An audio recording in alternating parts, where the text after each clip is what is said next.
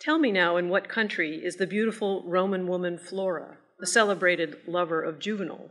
Where is Thais, who followed Alexander into Egypt and was as beautiful as Hipparchia, the skillfulest courtesan in Athens? Where is Alcibiades? Where is Echo, who parlayed her glamour, her clamor from rivers and streams at hand, and whose beauty flowed far beyond what we know now? But then, where is all of last year's snow? Where is Heloise, that discreet nun for whose sake they unmade Abelard into a monk of Saint Denis? For such, for such love they cut off his balls. And where is that legendary queen who ordered her lovers thrown in the Seine, tied in a sack, once she was good and done with them?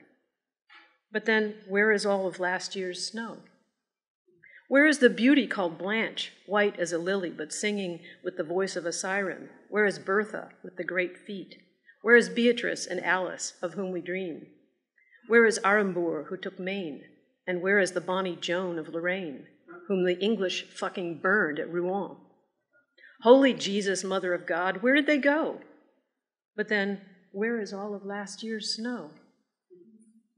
Oh, you who love so royally to love, don't try, not today, nor tomorrow, nor in a year, to understand where they have gone without this poem's refrain remaining clear. Mais où sont les neiges d'antan?